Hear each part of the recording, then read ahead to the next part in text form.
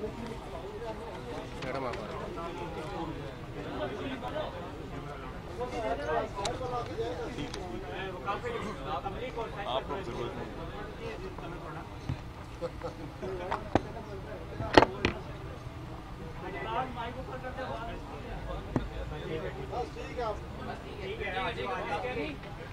बिस्मिल्लाहिर्रहमानिर्रहीम। आज जैसा कि आप सबको मालूम है कि पाकिस्तान मुस्लिम लीग नून एन ए सेवेंटी फाइव के इलेक्शन के ऊपर जो डाका डालने की कोशिश की गई, उसकी हेयरिंग इलेक्शन कमीशन में हुई। इलेक्शन कमीशन ने दोनों जमात के जो लोग थे, उनको बुलाया। हेयरिंग हुई। नौशीन इफ्तार मेरे साथ खड़ी हैं। ये एन ए सेवेंटी फाइव की कैंडिडेट हैं, जिन्होंने बहादरी के साथ, दलेरी के साथ एन ए सेवेंटी फाइव के अवाम के जमहूरी और आइनी हक की हिफाजत की, जहाँ फायरिंग हो रही थी, खुली फायरिंग ओपन फायरिंग हवाई फायरिंग की जा रही थी। एन ए सेवेंटी फाइव के लोगों को हरासा करने के लिए वहाँ ये नहत्ती खातून जो एन ए सेवेंटी फाइव के अवाम की आइनी और जमहूरी हक की वहाँ जंग लड़ रही थी, हिफाजत कर रही थी, वहाँ दलेरी और बहादरी के साथ खड़ी थी। और आज इलेक्शन कमीशन में जो हेयरिंग हुई, उससे पहले मैं ये ज़रूर कहना चाहती हूँ कि जो इलेक्शन कमीशन की प्रेस रिलीज़ थी, जब 20 प्रिजाइडिंग ऑफिसर्स को मिसिंग पर्सन बना दिया गया तो इलेक्शन कमीशन ने जो प्रेस रिलीज़ इशू की, वो हम समझते हैं कि वो एक तारीखी प्रेस रिलीज़ है, जिसके अंदर वो तमाम जिम्मेदारान जिन्होंने इलेक्शन को पुरमन बनाना था एन ए सेवेंटी फाइव के लोगों का आइनी और जमहूरी हक की हिफाजत करनी थी, जिन्होंने लॉ एंड ऑर्डर को मेंटेन रखना था, उन्होंने ही प्रिजाइडिंग ऑफिसर्स इलेक्शन कमीशन के अमले को वोट चोरों के साथ मिलकर अगवा कर लिया। इलेक्शन कमीशन ने वाजिया तौर पर अपनी प्रेस रिलीज़ में यह कहा कि chief secretary, IG, DPO, RPO, CCPO, DC, commissioner, DSP सब लोगों के सामने दिन दिहाड़े दो कीमती जानों का नुकसान हुआ। लोग अपनी जानों से गए। गिरफ्तारियाँ हुई एफ़ आई एफआईआरें कटी, लेकिन खामोश खामोश तमाशाई। सारी की सारी इंतजामिया थी। खामोश तमाशाई पूरी की पूरी पंजाब हुकूमत थी। खामोश तमाशाई जो धांधली की पैदावार है, जो धांधली का सरदार है, जो धांधली का पैरोकार है, इमरान साहब खामोश रहे। और सारी साजिश सारी साजिश क्या थी जो आज इलेक्शन कमीशन के अंदर जिसकी तस्दीक हुई? सारी साजिश ये थी कि ये जो 20 पोलिंग स्टेशंस हैं, इनको मुतनाज़ा बनाया जाए, इनके ऊपर पूरी तवज्जो लाई जाए ताकि जो 340 पोलिंग स्टेशन हैं, उन पे वोट वोट के ऊपर डाका डाला जाए। वहाँ लोगों को हरासा करके, फायरिंग करके, बदमाशी करके, गुंडागर्दी करके, रियासती दहशतगर्दी के साथ। वहाँ लोगों को हरासा करके, एन एस के लोगों को अपने वोट, अपने आईनी हक और अपने जमहूरी हक से महरूम रखा जाए। लेकिन मैं सलाम पेश करती हूँ। उन लोगों को, उन बेटों को, उन माओ को जिन्होंने नौशीन के साथ ना सिर्फ़ खड़े होकर, बल्कि अपनी जान हथेली पर रखकर, बगैर किसी खौफ के वहाँ खड़े रहे और वोट पर पहरा देते रहे। और यही आज मौकफ की तस्दीक इलेक्शन कमीशन के अंदर आर ओ रिटर्निंग ऑफिसर्स ने जब अपनी स्टेटमेंट दी, मैं केस के जो लीगल पॉइंट्स हैं उस पर नहीं जाऊँगी, क्योंकि ये सब्जुडिस केस है, मैं इन गैर जिम्मेदाराना लोग जो सिर्फ़ नौटंकी करने, तमाशे करने और अदारों को मफलूज करने की पैदावार हैं, जो अभी यहाँ प्रेस टॉक करने गए हैं, मैं उस तरफ़ नहीं जाऊँगी। लेकिन लेकिन आज आरओ की जो स्टेटमेंट है, वो पब्लिक स्टेटमेंट है। वो आपने अपने टीवी स्क्रीन्स पर चलाई है, जिन्होंने आज ये बात रिटर्निंग ऑफिसर्स ने इलेक्शन कमीशन के तमाम मेम्बरान के सामने अपनी स्टेटमेंट दी कि वो पूरा दिन और रात को भी, जब ये मिसिंग पर्सन हुए वो डीएसपी को बताते रहे, वो कांटेक्ट करने की कोशिश करते रहे इंतजामिया के साथ और सारी पुलिस के साथ, लेकिन कोई पुलिस वाला, कोई इंतजामिया वाला उनको जवाब देने को तैयार नहीं था। आरओ को तमाम फायरिंग की इतला थी, तमाम वाकयात की इतला थी, पूरे डस्का में और एन ए सेवेंटी फाइव में जो फायरिंग के वाकयात होते रहे पोलिंग रुकी रही, मार धाड़ होती रही गुंडागर्दी होती रही, बदमाशी होती रही दहशत गर्दी होती रही आरओ को सबका इल्म था। और आज जो एक और बड़ी इंटरेस्टिंग बात पता चली कि आरओ ने फ़ोन कर कर इलेक्शन कमीशन को कहा कि इलेक्शन कमीशन का रिकॉर्ड इलेक्शन कमीशन की अमले की सिक्योरिटी और इलेक्शन कमीशन की सिक्योरिटी खतरे में है। ये इलेक्शन कमीशन का अमला रिटर्निंग ऑफिसर कह रहा था इलेक्शन कमीशन को। कि पूरे का पूरा एन ए सेवेंटी फाइव मैदान जंग बना हुआ है। जहाँ उन्होंने कहा कि हमारी जान भी खतरे में है रिकॉर्ड भी खतरे में है और हमारी सिक्योरिटी भी खतरे में है। उसके बाद जो आरओ की अपनी स्टेटमेंट है, उसके मुताबिक 20 पोलिंग स्टेशन जिसके ऊपर वज़ीर आज़म सिलेक्टेड की भी तवज्जो है, धांधली की पैदावारों की भी तवज्जो है और जिन 20 पोलिंग स्टेशंस के प्रिजाइडिंग ऑफिसर्स को अगवा करके ये सारा खेल खेला गया, वो उसमें से 14 फॉर्म्स में रद्दो बदल है। वो 14 फॉर्म्स के अंदर जो आरओ के पास मौजूद हैं, वो टेम्पर्ड हैं, जिसका ज़िक्र इलेक्शन कमीशन ने अपनी प्रेस रिलीज़ में किया कि रद्दो बदल का शायबा है वो सारा रिकॉर्ड आरओ ने आज पेश किया और उस रिकॉर्ड के अंदर 14 के अंदर रद्दो बदल है। और जो 20 मिसिंग पर्सन आरओज जो अगवा किए गए और जब वो सुबह साढ़े पाँच बजे जमा कराए गए वो आरओज, वो प्रिजाइडिंग ऑफिसर्स को जब सुबह साढ़े पाँच बजे आरओ के दफ्तर में इकट्ठा जमा कराया गया डिपॉजिटेड का लफ्ज इस्तेमाल हुआ, जब उन प्रिजाइडिंग ऑफिसर्स को सुबह साढ़े पाँच बजे जो मुख्तलिफ़ जगह से किडनैप हुए, अगवा हुए, मिसिंग पर्सन हुए, उन सबको जमा कराया गया इकट्ठे साढ़े पाँच बजे पुलिस की गाड़ियों में।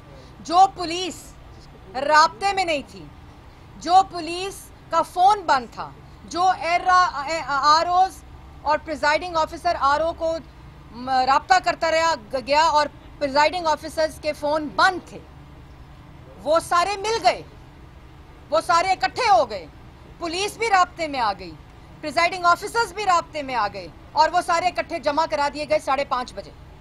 और जो आरटीएस के ज़रिए फॉर्म्स आए, वो आरटीएस के ज़रिए और 14 फॉर्म्स मैच नहीं करते, उसमें रद्दो बदल है। लेकिन जो बात मैंने पहले कही कि ये 20 पोलिंग स्टेशंस को इस्तेमाल करके और जो हमारे पास फॉर्म 45 हैं जो हमें पोलिंग एजेंट्स ने पीएमएलएन को दिए हैं, वो आज हमने जमा करा दिए हैं। फायरिंग की तमाम वीडियोस जो ओपन फायरिंग हवाई फायरिंग जो लोग शहीद हुए, जो एन ए के लोगों, अवाम के जानों को खतरे में डाला गया, खुली फायरिंग मोटर बाइक्स पे हुई और उन पोलिंग स्टेशंस के अराउंड हुई, शहर में हुई जहाँ पीएमएलएन का होल्ड था। और जहाँ पीटीआई का स्ट्रांग होल्ड था, वो 20 के 20 प्रिजाइडिंग ऑफिसर्स किडनैप कर लिए गए, जिनके फॉर्म्स में रद्दोबदल कर दिया गया, ये आरओ कह रहे हैं इलेक्शन कमीशन के। और जिन्होंने किडनैप किया, वो आज कहते हैं कि मैंने तो दरख्वास्त दे दी है कि जो 20 रिटर्निंग ऑफिसर्स को फॉर्म प्रिजाइडिंग ऑफिसर्स ने दिए वो तस्लीम कर लें। इलेक्शन कमीशन कह रहा है, चौदह टेम्पर्ड है, जिन्होंने अगवा किए जो कैंडिडेट हैं, वो कह रहे हैं, नहीं, मुझे यकीन है उन 20 फॉर्म्स पे आप उसको एक्सेप्ट कर लें। अच्छा जी? और ऊपर से वो जो धांधली के सरकार हैं, धांधली के सरदार हैं, पैरोकार हैं, पैदावार हैं, इमरान साहब कहते हैं, मैंने कैंडिडेट को दरख्वास्त देने को कहा है बीस में रीपोलिंग करा लें। क्यों? मामा जी का वेड़ा है। क्यों? करा लें बीस पे। बाकी आप 340 पे फायरिंग करें। 340 पे जाने लें। 340 पे बदमाशी करें 340 पे गुंडागर्दी करें 340 पे रियासती दहशत गर्दी करें। और रीपोलिंग हो जाए 20 का, क्योंकि आपने उनको किडनैप किया, क्योंकि आपने उन फॉर्म्स पे रद्दो बदल किया, क्योंकि आपने अपने घर से वो पीपी 41 से 20 प्रिजाइडिंग ऑफिसर्स को अगवा करके इलेक्शन में टेम्परिंग की, धांधली की। तो आज पूरा एन ए की अवाम इलेक्शन कमीशन की तरफ़ देख रही है। और खाली एन ए सेवेंटी फाइव नहीं, पूरा पाकिस्तान आज इलेक्शन कमीशन की तरफ़ देख रहा है। इलेक्शन कमीशन की जिस तरह प्रेस रिलीज़, एक तारीखी प्रेस रिलीज़ है, उसी तरह पूरा अवाम क्योंकि आइंदा आने वाले इलेक्शंस के लिए प्रेसिडेंट सेट होगी इलेक्शन कमीशन के इस फैसले के साथ, कि आप इलेक्शन को अपना खिलवाड़ नहीं बना सकते, आप वोटर्स को फॉर ग्रांटेड नहीं ले सकते। और वहाँ मौकफ क्या लेते हैं कि 2018 के इलेक्शन में भी लोग मरे थे। क्या हुआ अगर जाने चली गई? अच्छा जी, आज जिनके घर में सफ़े मातम है, जिनके घरों में 20-20 साल के बच्चे शहीद हुए हैं, उस इलेक्शन को, जिस इलेक्शन को आपने मैदान जंग बनाया था, वहाँ आप कहते हैं कोई बात नहीं, जाने चली गई तो 2018 के इलेक्शन में भी गई थी, लेकिन आज इलेक्शन कमीशन को ये फैसले के ज़रिए डेटरेंस और प्रेसिडेंट कायम करनी पड़ेगी। कायम करनी पड़ेगी कि आइंदा आने वाला इलेक्शन इस तरह भेंट ना चढ़े वोट चोरों के। वो इस तरह अवाम की जानों के भेंट ना चढ़े। वो इस तरह के इंतज़ामिया पूरी की पूरी मुलविस हो। पूरे का पूरी पंजाब हुकूमत मुलविस हो। पूरे का पूरा वज़ीर आज़म हाउस मुलविस हो। वज़ीर आज़म सिलेक्टेड मुलविस हो। इसकी आईनी और जमहूरी हिफाजत इलेक्शन कमीशन को करनी पड़ेगी। और आखिर में मैं ये कहना चाहती हूँ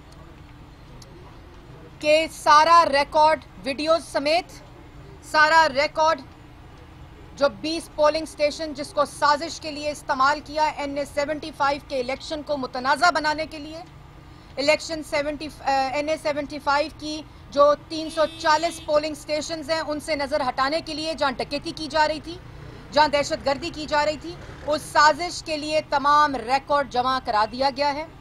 और हम कल मज़ीद मज़ीद जो आज झूठ बोला गया इनकी तरफ़ से, क्योंकि इनको तो मंजूर है उस अगवा शुदा प्रिजाइडिंग ऑफिसर्स का रिकॉर्ड जो चौदह टेम्पर्ड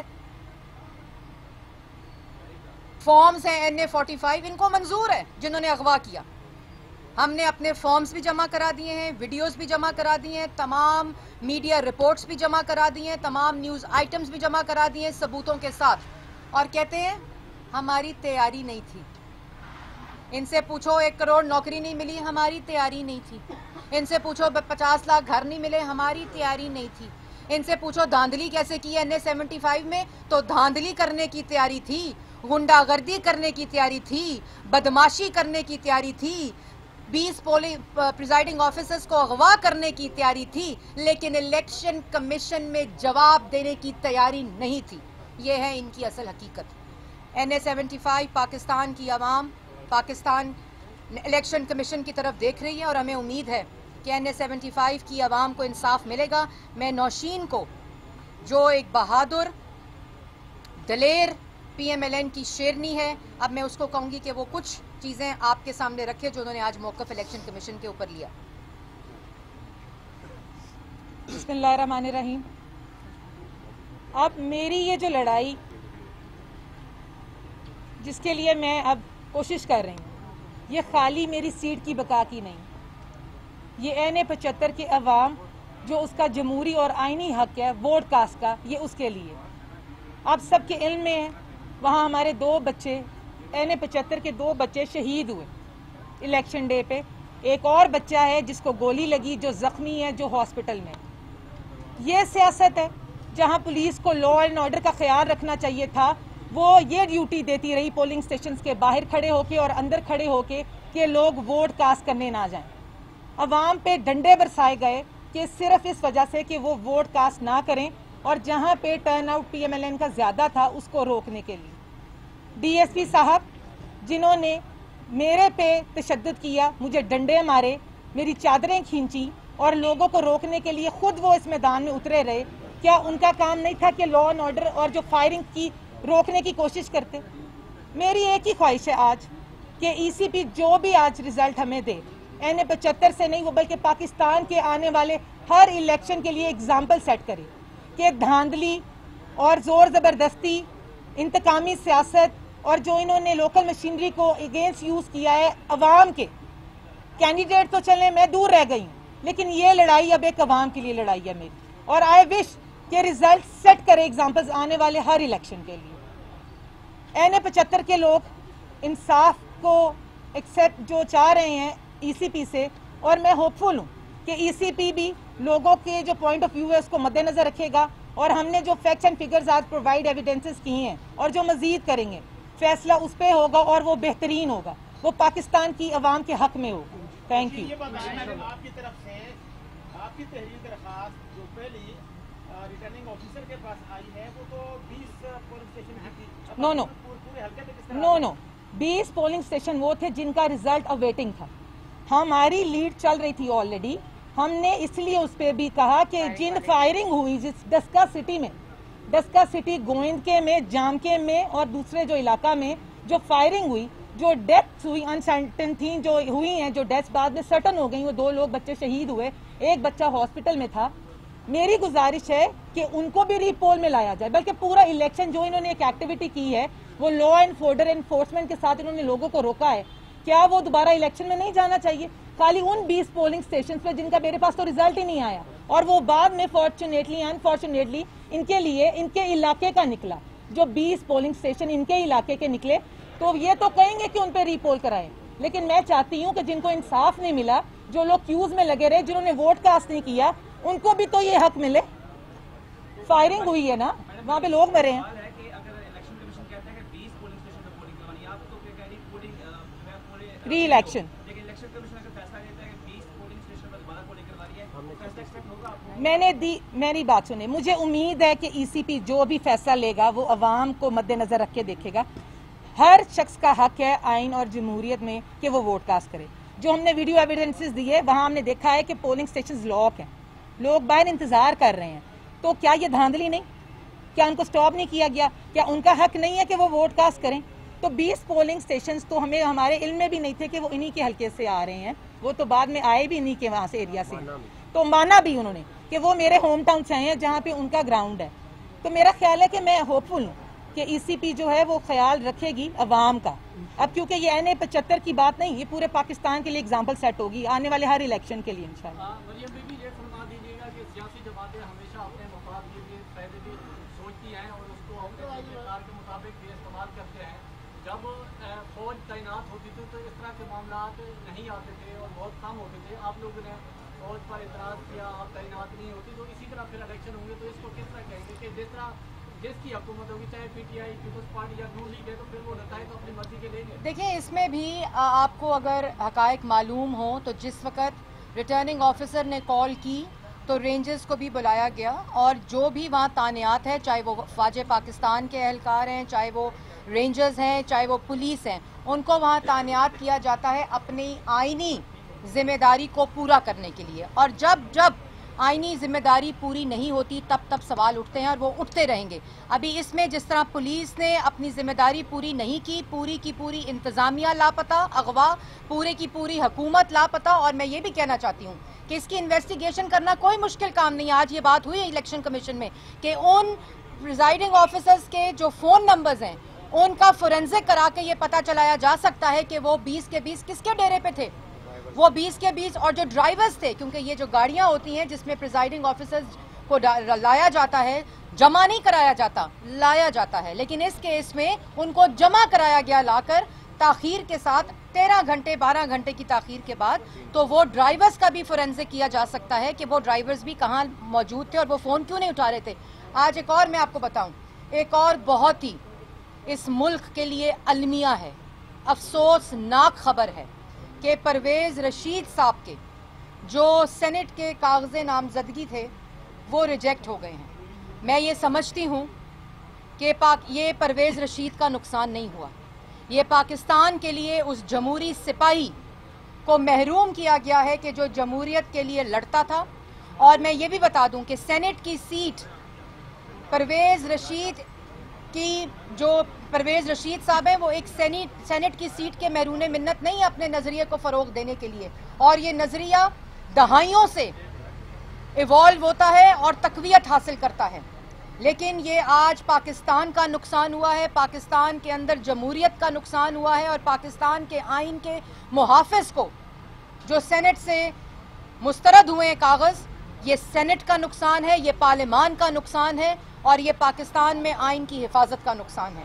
और मैं इसकी मजम्मत भी करती हूँ और मैं आज पाकिस्तान मुस्लिम लीग नून की तरफ़ से भी इसकी मजम्मत करती हूँ, लेकिन परवेज़ रशीद साहब को जितना मैं जानती हूँ जो मेरा उनके साथ ताल्लुक है उनको इस सीट की ना ज़रूरत है।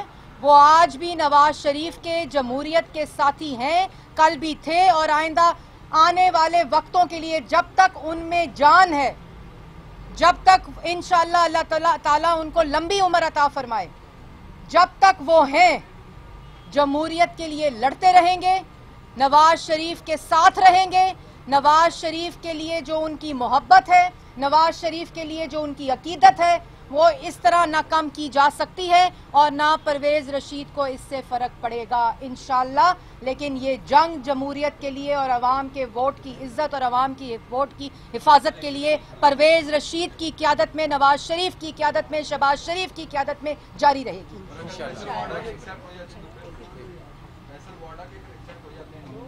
देखिए, ये तो ये तो तमाशा है।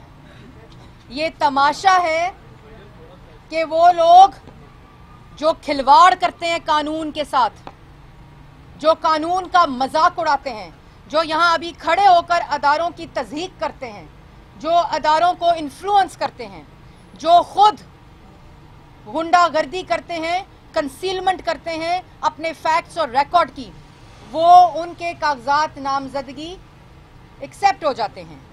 वो लोग जो जमहूरियत की बात करते हैं, जो जमहूरियत के पैरोकार हैं, जो जमहूरियत के लिए अपनी आवाज़ को बुलंद करते हैं, हर ख़तरा मोल लेते हैं, उनको ऐवानों से बाहर रखने की भौंडी कोशिश की जाती है। लेकिन जैसे मैंने पहले कहा, मैं पहले कह चुकी हूँ कि परवेज़ रशीद साहब को वो इस सेनेट की सीट के मरून मिन्नत नहीं है। वो जमहूरियत के लिए लड़ते रहेंगे, जमहूरियत के लिए आवाज़ उठाते रहेंगे, वो जहाँ खड़े होंगे, अब ऐवान खुद वहाँ बन जाएगा। inshallah, inshallah.